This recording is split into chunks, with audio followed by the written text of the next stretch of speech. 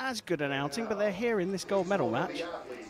Yeah, that well, I mean, they're the undisputed uh, best in the world for as far as I know. So um, it's going to be interesting to see if China can uh, live up to uh, the expectation of beating them today in this match. Time to go for gold here for the first time on Recurve Sunday. The Recurve women's team gold medal match is a matchup between Korea and China. Let's go down to the shooting line to meet the teams.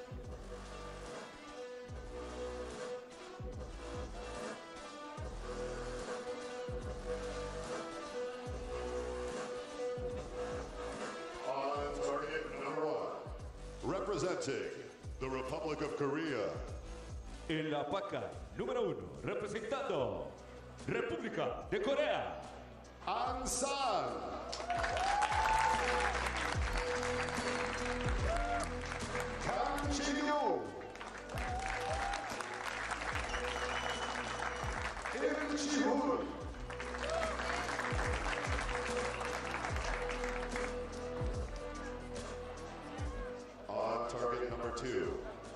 representing the People's Republic of China, en la paca número dos, representando República Popular de China, Li Jiaman.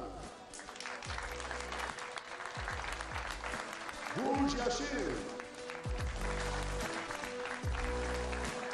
Yang Xiaolu.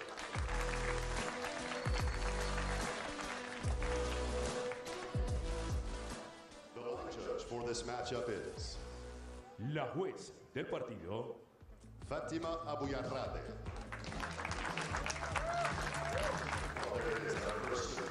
Well, what a lineup we've got here. Korea, arguably the favourites. An San, Kang Chae-young and Lim Si-hyun. Their trio In this particular category, looking good and ready to go. Going up against the Chinese team, boasting two Olympians in Wu Jiaxin and Yang Xiaolei. They're teamed up with Li Jiaman. They've got to get off to a good start against the Koreans. It's always the case that if Korea get off to a good start, it's very difficult to chase them down. An San will shoot first for Korea in this gold medal match.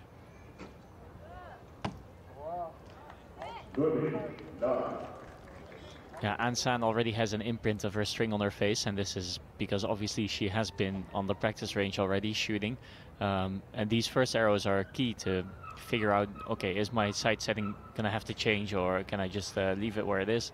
So um, these first arrows in the match are always very important to see if you can get some kind of idea of the, the finals venue.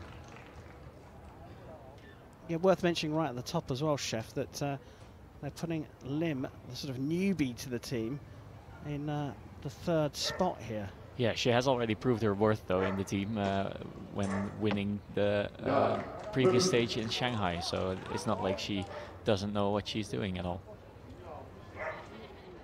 So all to the left and a little bit of uh, tinkering with the sight. Yeah, China can use this information. They can look at the Korean team shooting those three arrows on the left and think, oh, we can adjust our sights to the left a little bit.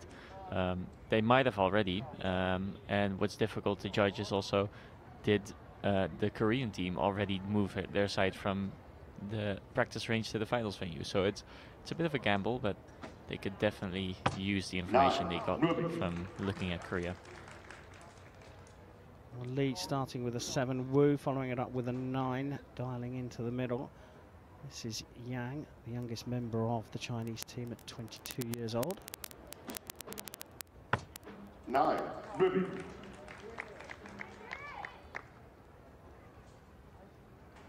So we are yet to see a 10 in this uh, gold medal match, but Korea had a really good group. So that means that I think they're going to uh, adjust really quickly and uh, get some 10s in after this.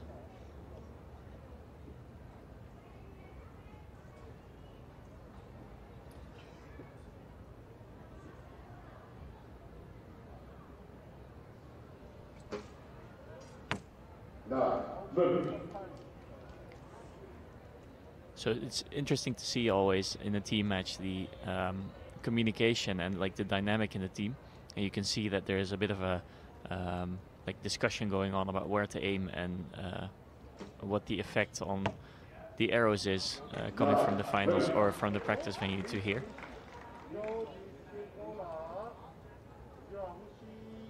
Nothing in the middle yet. And 53 is a gettable target for the Chinese team. And you'll notice that uh, Yang is shooting arrows three and four. So she's been protected in the middle of the order. By the more experienced Wu shooting two and five.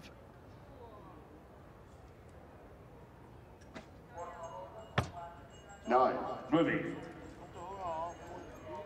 So that nine means that they cannot get any set points in this set anymore, um, but they can still use this arrow to gather some information about where the, where it's going to hit, uh, if it's going to be affected by any potential wind or light circumstances.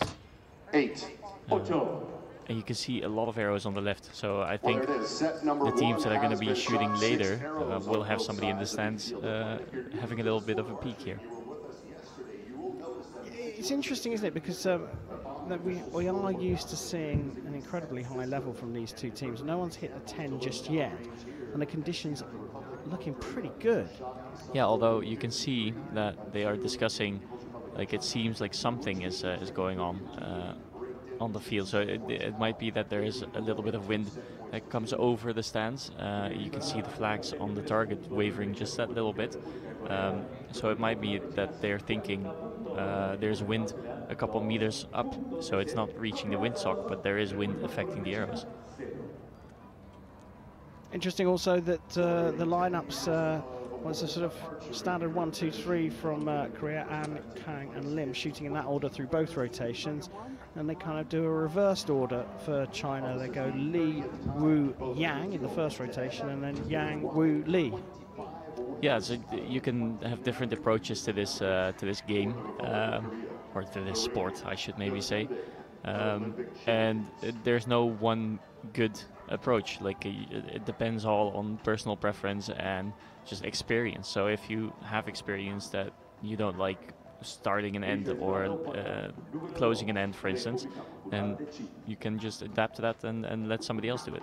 Element of protection for Yang shooting arrows three and four, perhaps. Yeah, maybe. Although um, the fourth arrow is often also a, a key arrow in a in a set because you can uh, put some pressure on the other team by and, and, and putting down a marker for um, your other two teammates. So Well, Korea leading 2 0 after the first set.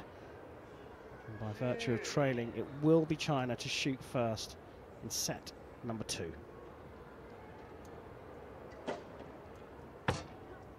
Ten. Diez. En toda la.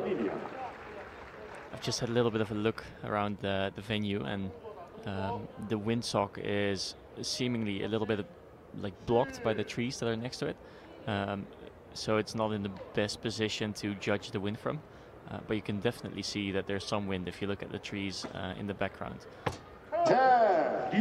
So although we had a nice little shot of the, the windsock earlier where it was just hanging down as if there was no wind, I think there's more to this match than meets the eye. Yeah, and of course, shooting over 70 metres here, so the wind conditions can change down the range, as Sjef is clearly Nine. pointing out. Uh, it looks certainly like the uh, Chinese team, at least, have adapted to those conditions. 29 out of a possible 30 through the first rotation.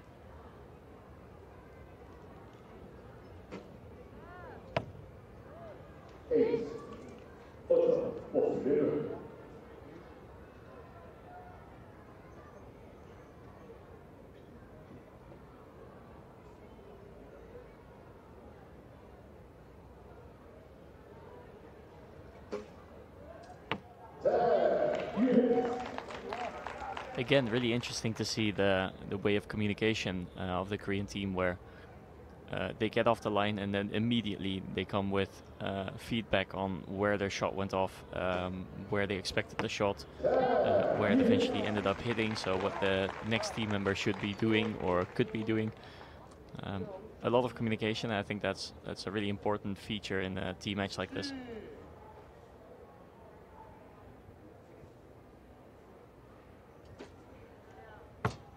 Eight, 8.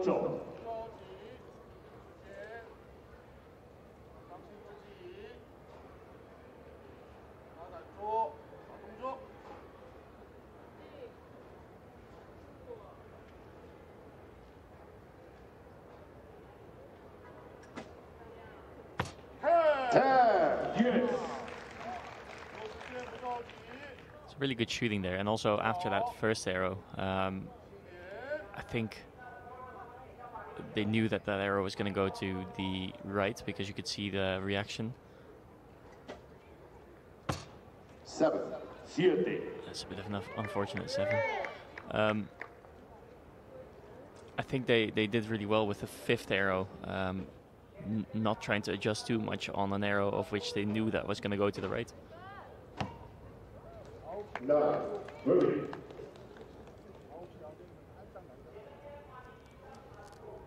So Korea in with a good shout here. China were on 37 after four arrows. Shot a 10 and a 7.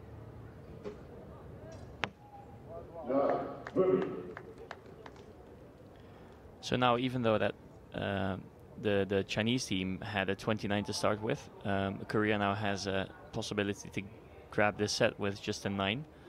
So just hitting the gold would be enough to get this set, and that's exactly what she does. So um, a 4-0 lead is a very commanding lead, especially in a team round where uh, four points um, is enough to get you a shoot off. So um, in team matches, you only need to get five set points to win the match. Um, so now all they need to do is just make sure they tie whatever uh, the opposing team is uh, shooting. Yeah, the tied score means the uh, teams will share the points.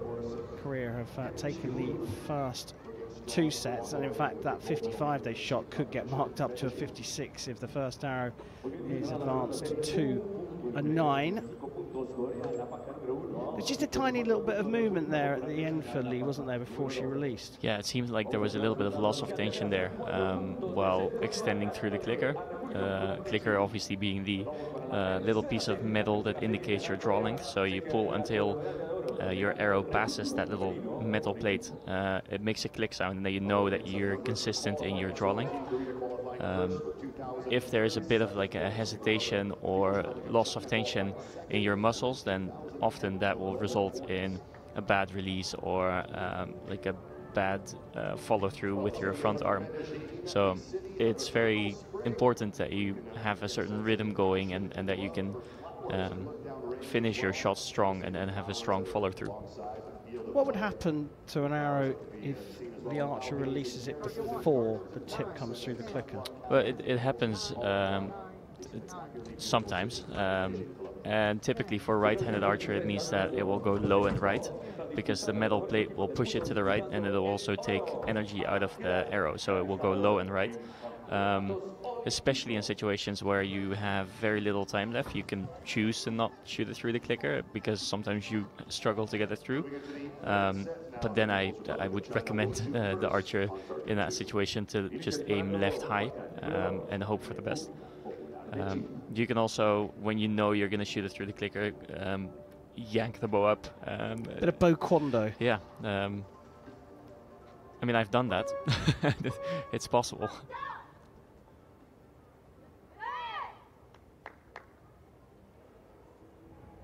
Well, the favourites, Korea, leading 4 0 after two sets, can do it in three. China will have to start this third set as they did the second. The big score. Nine. There's that bow quando that you were talking about. So typically that means that at the moment of, of the clicker going off, so that, that draw length indicator, uh, your sight pin is not in the middle, so you need to adjust a bit in the shot itself. Um, it's a bit easier to do with a recurve bow than with a compound bow because the arrow is on the string for a bit longer. Um, and in recurve, the release is kind of like a motion. It's, it's a you're doing the shot yourself rather than having the release go off at a certain point uh, and the arrow just disappearing from your bow. So uh, you'll see a little more movement typically in the recurve division than in the compound division. China match the rotation from the second set. First of two with a 29.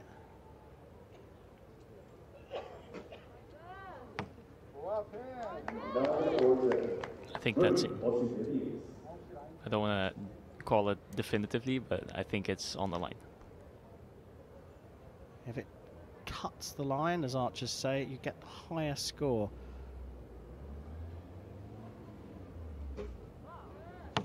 Nine,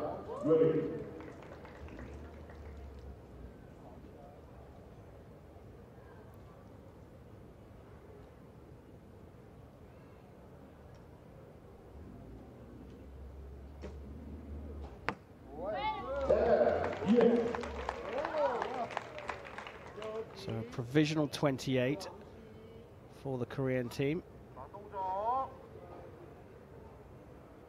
Sjef thinks the 9 will get marked up to a 10, so got to work on the basis, certainly for China, that uh, Korea are on 29 and an 8 is a replication of what Yang did in the second set with that uh, fourth arrow.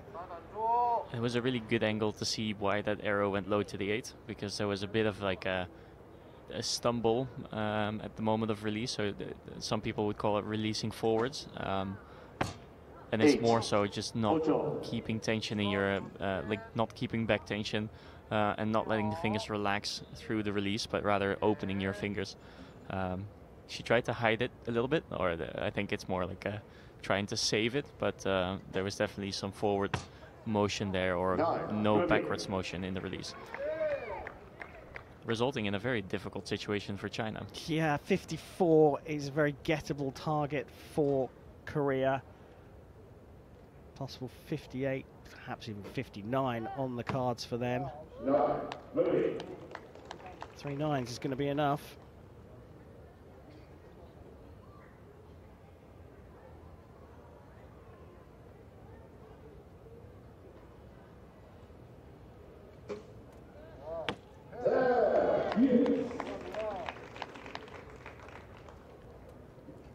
So as the scorer implies, only a 7 is needed to win this match, and we've not seen them shoot outside of the 8 ring so far. Well, what a way to finish. Couple of tens for a 57. Provisionally could get marked up to a 58, and it does mean a guaranteed 6 0 win, and yet another recurve gold medal for Korea. Yeah, and it's almost like um, people are expecting them to win, so it's almost as if they find it less impressive that they win again. But I feel like it's just it's increasingly impressive how often they ju- just show up and get the gold medal, uh, and, and they get to take the gold medal home. Handshakes all around, and uh, perhaps a little story of the day starting to build for Lim Si Hyun in the middle there of the Korean trio. Uh, she's got a 100% record in the individual competition. Uh, this is only her second World Cup, and she's on a run here for potentially a hat trick of gold medals. Completed task number one. Confirmation from the target judge, Korea taking gold in the recurve women's team event here in Medellin. Can Lim Si Hyun complete the hat trick?